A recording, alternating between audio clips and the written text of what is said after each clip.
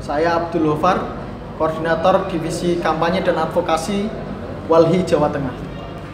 Menyongsong peringatan Hari Tani Nasional tahun 2018,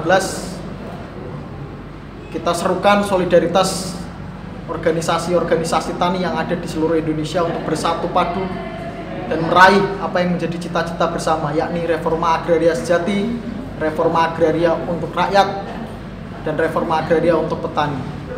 Bukan reforma agraria demi kepentingan politik dan demi kepentingan pencitraan semata. Oleh karena itu kita berharap pemerintah serius menyelesaikan konflik-konflik agraria yang sampai detik ini belum terselesaikan dan sampai detik ini pemerintah telah mengingkari apa yang tercantum dalam nawacita Jokowi JK. Reforma agraria harus segera digaungkan bukan hanya sekedar pencitraan. Salam rakyat.